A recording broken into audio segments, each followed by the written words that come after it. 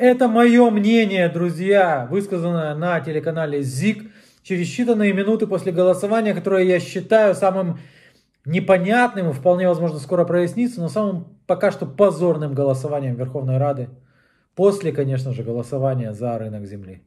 Мое мнение. Що ж, друзі, почули позицію народного депутата Ілюків. Власне, е, будемо далі продовжувати е, наше обговорення. Зокрема, наш сьогоднішній спеціальний гість Анатолій Шарій, журналіст, блогер. Пане Анатолію, вітаємо вас. Здравствуйте. Ну, Пане- е, на- напевно, Пане Анатолію, давайте за- одразу почнемо з голосування Верховної Ради. Певно, ну до- досить цікава ситуація там виникла. Навіть е, можливо, ми спробуємо зараз з вами розібратися. Адже стільки було різних перемов, стільки було думок, що не можна це робити, а потім взяли і якось це так швиденько у всіх вийшло. А що я ви вам гадаєте, должен що сказать, сталося? я вам должен сказать, что я вот сейчас просто в онлайн режиме, да, вот мы сейчас, вот я слушал Илью, общались, я смотрю здесь результаты голосования, да, и я понимаю, что я ничего не понимаю вообще. То есть это что, ниша ляжка теперь занята или что происходит? Я понимаю, что у каждого, конечно же, внутри партии, и это нормально, что партия не голосует, знаете, как одобрямс, там, это же не ЦК КПСС, к примеру, и так далее. Но тем не менее, что произошло и откуда взялись 15 голосов в оппозиционной платформе «За жизнь»? Более того, я должен сказать, что я точно знаю, что Юрий Павленко за час до этого голосования говорил, что нельзя за это голосовать. Я точно знаю, что Скорик за час до этого голосования говорил, нельзя голосовать. Эти люди взяли, вот я смотрю, и проголосовали. Илья Кива говорит, что его позиция неизменная. Он утримався.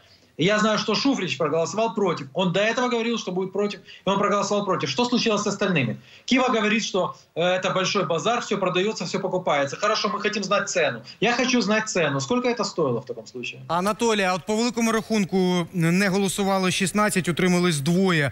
Е, Це ну має якусь різницю взагалі, то е, якийсь сенс смисловий. Тобто не голосували проти, але утрималися або взагалі не голосували.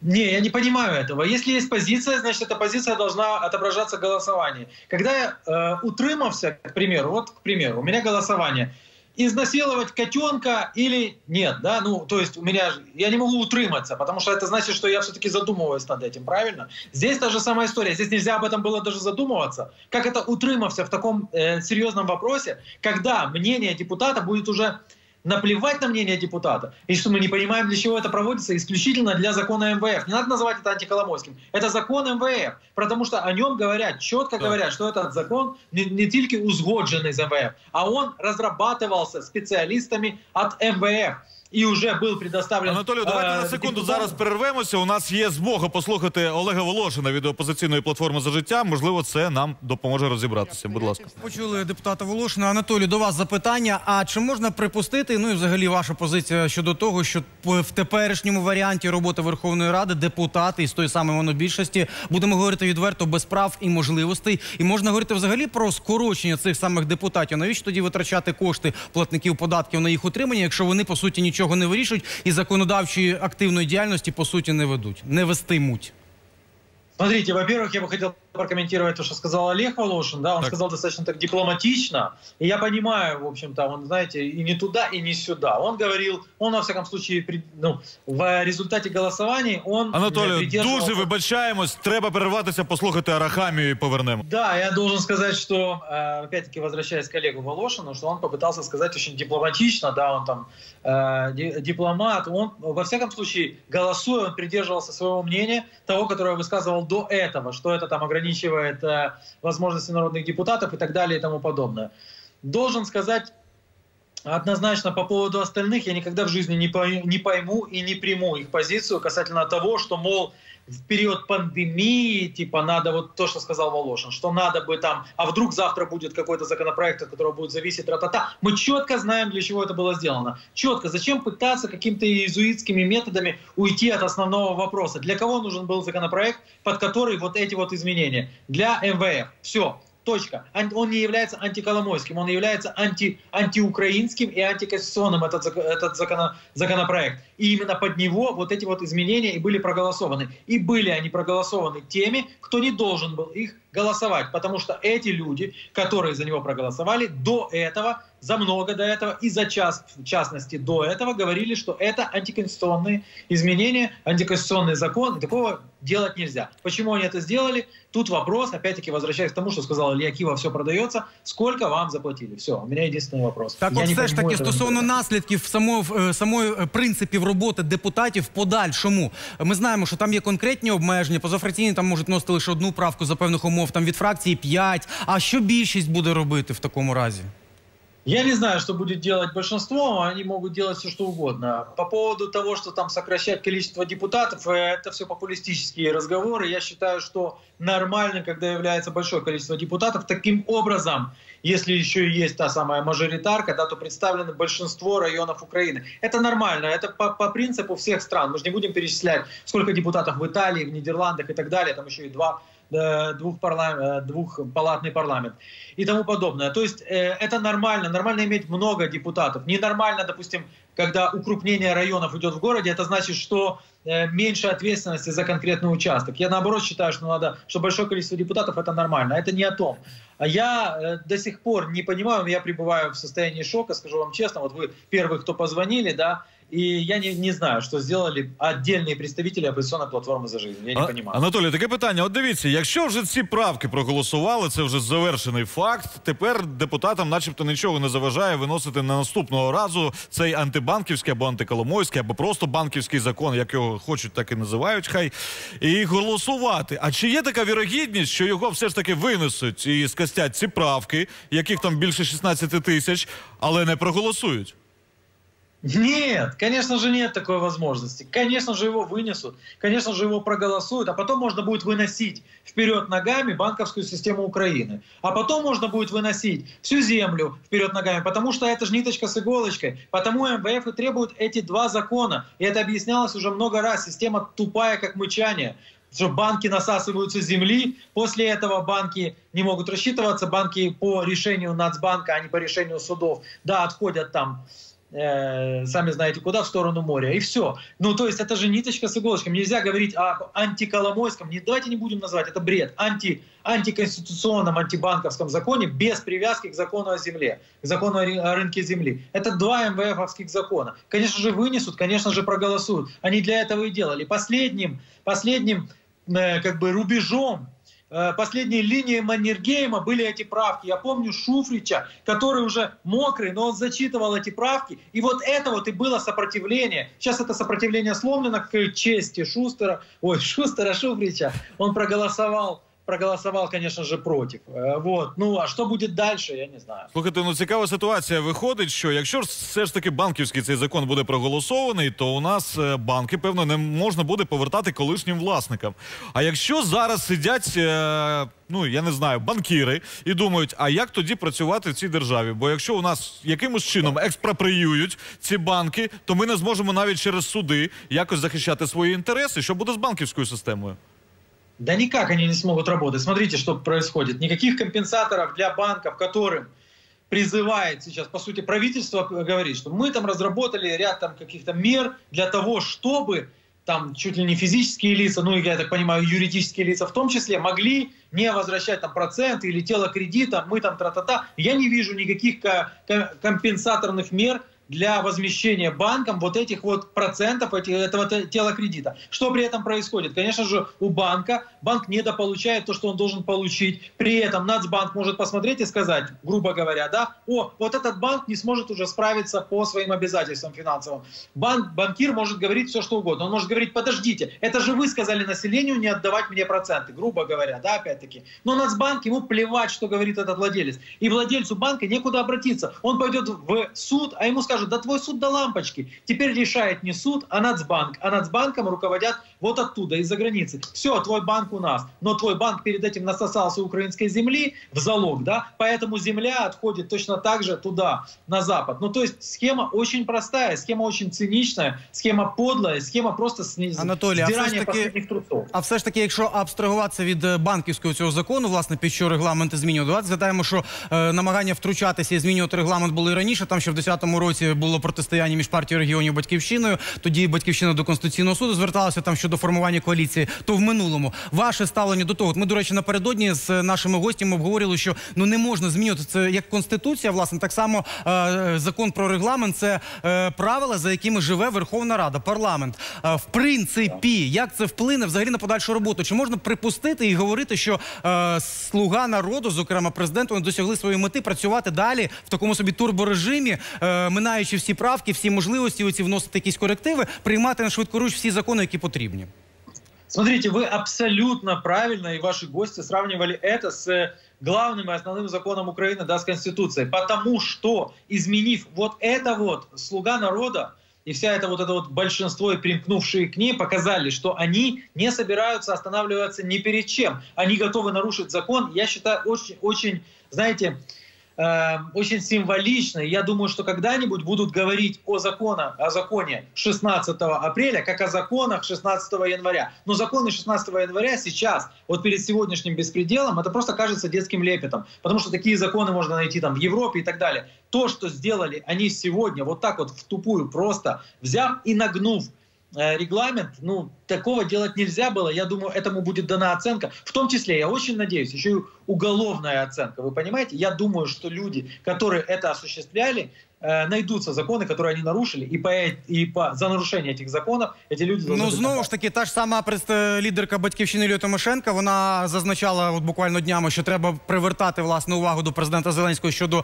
закону про землю, якщо він його підпише до кримінальної відповідальності, його значить е, з- е, зволікати власне. Але стосовно цієї всієї історії голосування теж може бути ж кроки в бік конституційного суду. А це буде мати якесь логічне продовження? Будет, конечно. Кроме того, я вот давайте повангую. Люди, которые сегодня на это пошли, они будут давать вам понять, что это такая многоходовка, что на самом деле это было сделано исключительно для того, чтобы потом Конституционный суд сказал, что это было неконституционно, таким образом отменить также голосование по антибанковскому закону, потому не, не антиколомойскому, а антибанковскому, да. Может быть, эти, вот эти люди, они вам будут говорить, что это сделано было намеренно, специально, что это очень длительная, продуманная многоходовка для того, чтобы, типа, потом все отыграть назад. Не верьте. Сегодня произошла покупка и продажа. Мне единственное интересна цена. Og doce цікаве питання, але ну я не знаю, незабаром будемо підключати ще депутатів наших. Можливо, вони якусь внесуть нам ясність щодо цього процесу. І є ще кілька тем, Анатолій, давайте їх з вами розберемо. Печерський районний суд столиці має обрати запобіжний захід колишній депутатці Тетяні Чорновол. Вже третю добу судді розглядають це питання, і позавчора захист Чорновол заявив відвід судді Сергію Вовку. Утім, клопотання адвокатів не задовільнили. Тож сьогодні саме суддя Вовк обиратиме запобіжний захід екс народному депутату. Прокуратура вимагає для неї цілодобового домашнього арешту. Чорновал, нагадаю, підозрюють у підпалі офісу партії регіонів у лютому 2014 року, унаслідок чого загинула людина. Сама екс-депутатка свою провину заперечує. І трошки е, до беку Тетяна Чорновол не раз потрапляла у скандали. Анатолій Андрія Портнова. Дивіться, давайте розберемося в цій задачці. Для того, щоб розібрати, нам треба знати умови. Тобто, я трошечки от е, поясню. Вона була у тому місці, про яке каже ДБР. Тобто вона була під цим офісом. Вона навіть сама каже, і хизується цим процесом. Далі ми маємо те, що її дійсно там притягнули, знайшли відео, показали, що вона там була. Тобто, начебто, є е, привід для того, щоб до неї там якусь підозру висловити. Але в мене питання, чому це відбувається через таку велику кількість років? Ну там можна якусь політичну складову сказати. А от головне питання, чому цим займається державне бюро розслідувань? Адже тоді, на момент скоєння злочину, вона не була державним посадовцем, депутатом чи ще кимось. От ви е, ну як ви вважаєте?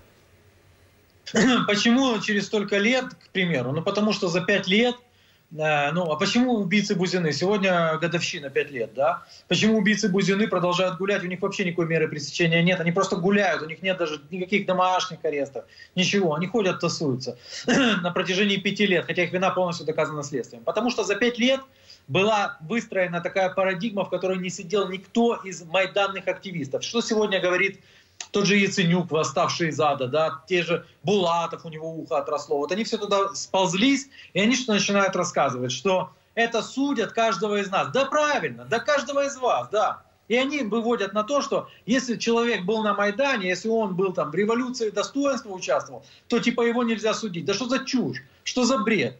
Касательно того, что она там была. Она не просто была, она поджигала, и она этим на самом деле хызуется. Ну и я это связываю с ее психически не, не, немножко неадекватным состоянием по жизни, тем, что она этим хызуется. Я здесь с Андреем не согласен. Мы с ним, кстати, поспорили, да. Он сказал, что там ее надо в учреждение, по-моему, а я ему начал говорить, что ты не прав, ну это публично, да, вышло, что дело в том, что она, даже несмотря на то, что она психически у нее есть отклонение, она должна сидеть в закрытом заведении в каком-то, потому что человек при этом владеет оружием, причем второй автомат у нее есть. Она рассказывает, что ей муж подарил. Как это муж подарил? Что значит муж привез и подарил автомат? Это что, я не знаю, цветок какой-то, это голландский тюльпан, это автомат.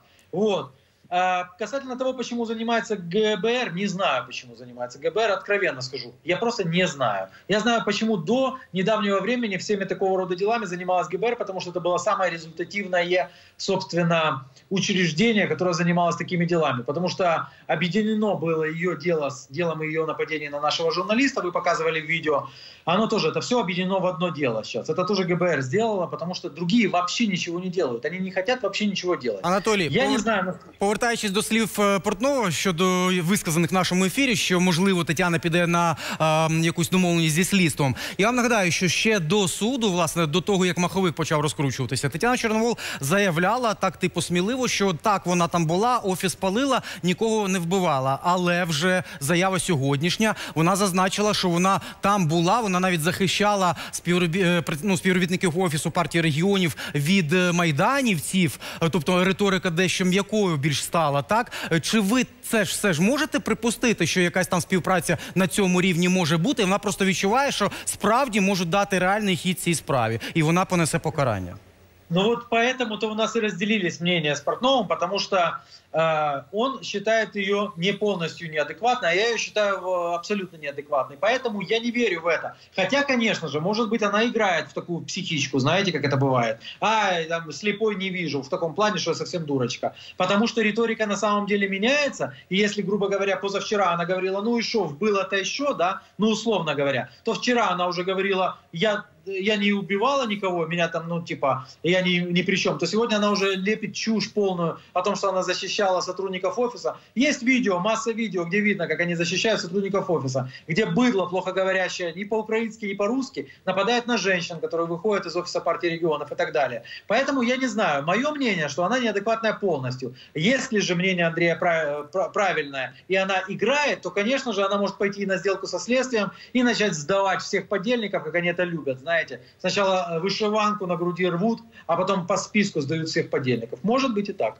Анатолій, є ще одна тема. Хочемо ваш коментар цього приводу. Народного депутата Володимира В'ятровича викликали на допит в те ж саме Державне бюро розслідувань. Закидають нецільове використання коштів під час форуму з нагоди 85 роковин пам'яті жертв голодомору. Там і Булатов справді був, і В'ятрович, до речі, і Парубій, хто там ще Яценюк, здається, був Порошенко. Власне, але якщо брати кількісно, то людей не так багато вже й було. Я маю на увазі не там якихось екс-лідерів там політичних сил а, або чинних лідерів, а в принципі людей підтримки. А, то чи можна говорити про те, що а, взагалі то ця е, вся історія вже от 6 років по тому, там 5-6 років по тому, вона на поверхні вона для більшості суспільства така вже є актуальною.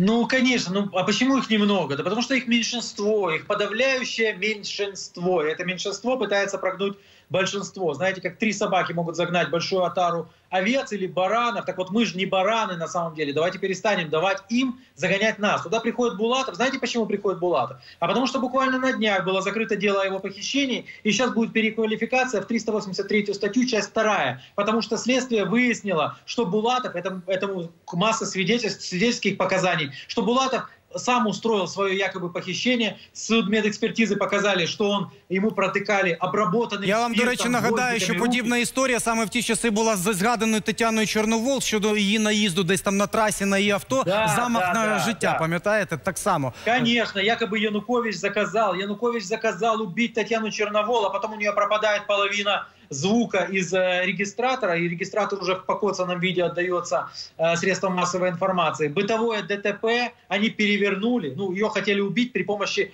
Каена нового, тараня ее э, какую-то раздолбанную машину. Ну, конечно, да. Вот. Потом они это все перевернули, и так же, как Булатова, ухо Булатова, это было подано общественности, как вот такое вот нападение. На... И все молчали, и был заговор, и тот же Поярков, который через несколько месяцев начал давать показания, тогда молчал и говорил, говорил посмотрите. Так вот, сегодня приходит Яценюк и говорит, на Вятровича заводят дело за то, что он провел конференцию по Голодомору. За КНП заводят дело. КНП, От тут, Анатолій, тут дуже цікава ситуація. До речі, якщо я не помиляюсь, за Булатовим сам пан Порошенко тоді приїздив, там визволяв його з якоїсь там е, землянки. Ну то таке собі. От щодо В'ятровича, дуже цікава ситуація, адже ну гроші, які вони витратили, начебто вони провели їх через Прозоро, там був якийсь тендер. Але ну коли ми дивимося на світлини цього заходу, то вони річницю голодомору святкують піроженками. Розумієте, це як масові розстріли потім е, відзначити салютом вверх. Ну я не, не розумію.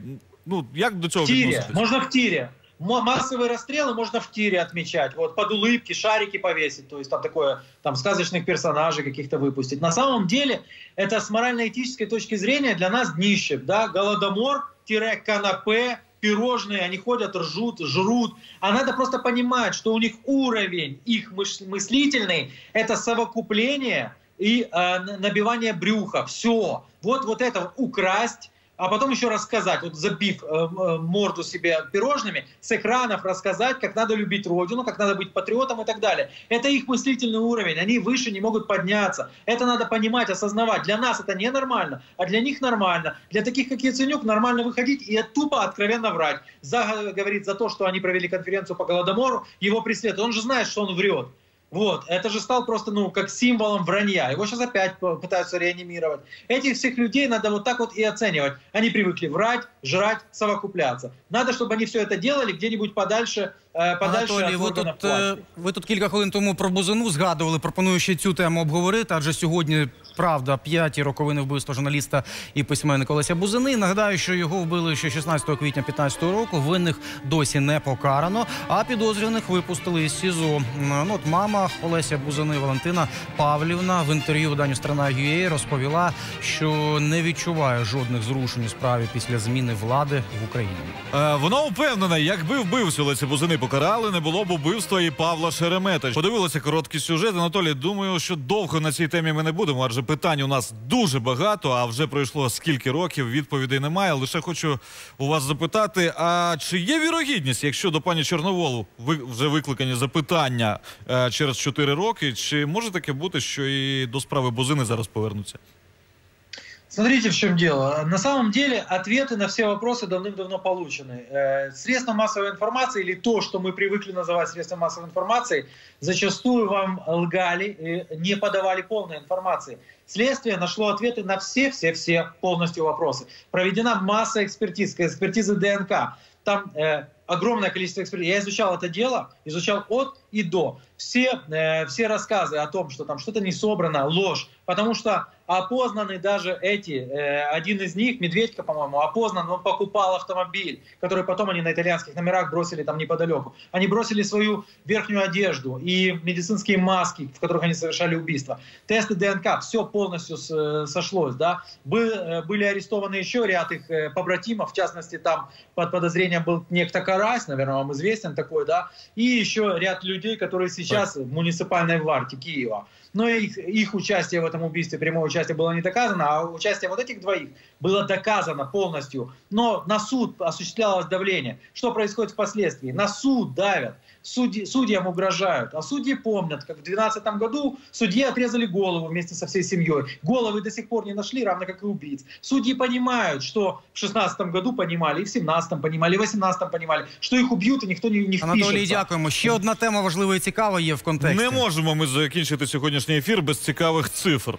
Стала відома перша заробітня плата генерального прокурора України Ірини Венедиктової. За 11 лише днів своєї роботи чиновниця заробила 73 тисячі гривень. Оклад генпрокурора становить загалом 93 тисячі 648 гривень. Зарплата вказана з урахуванням надбавок, доплат, премій. Утім, не вказано, яку саме суму після отримання податків і зборів чиновниця отримала чистими руками.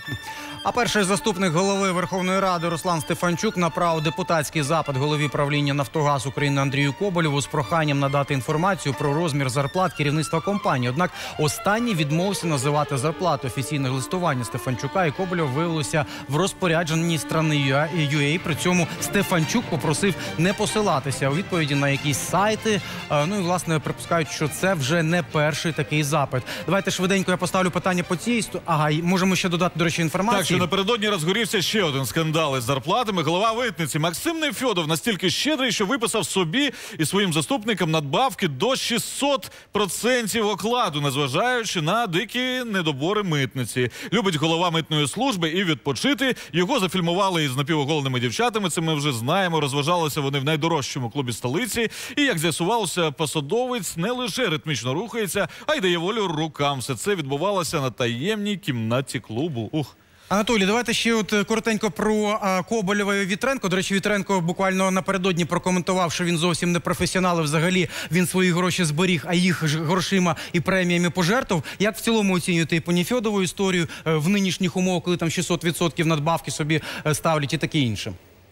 Ну, как издевательство, я не знаю, как это можно оценивать, как издевательство. Как издевательство власти над, э, над, над собственным народом. И у власти у это есть лица и есть фамилии. Вот в чем фишка. Ну, можно говорить, власть, там что-то такое. Но Владимир Александрович не видит этого. Он не видит этих недоборов, диких недоборов мытницы. И не видит вот этого вот, ну, я, во-первых, я почему-то считал до сегодняшнего утра, я думал, что Нефедова уже давно отодвинули. Я не интересовался его тушкой, да, а сейчас я вижу, что, оказывается, он себе начисляет э, 600, 600% на- надбавок. Ну, я не знаю, как это комментировать. Я не знаю, как комментировать отказ дать спикеру парламента да, э, отчет по своим, зараб, э, по своим заработкам от э, руководства госкомпании. Я этого не понимаю абсолютно.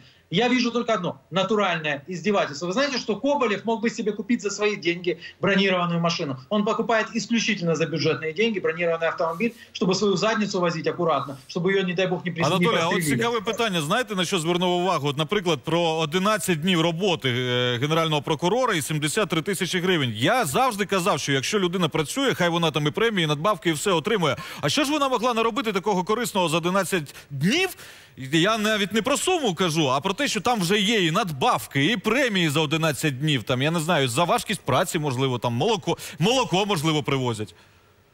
Ну вот знаете, мо- может быть мы сейчас ее осудим, а она на 12 день вот как раз-таки начала что-то очень важное делать. Потому что за 11 дней сказать, что что-то было сделано важное, действительно значимое, за что надо премировать, я, конечно же, не вижу. Но может быть она разгон большой взяла, и посмотрим под конец месяца, что там будет. Если не будет ничего, тогда станет вопрос, сами знаете какой. Знаете, у нас прокуроры начали меняться уже со скоростью, как меняются министры. А у вас здравоохранения. які очікування? Буде чого, або буде нічого?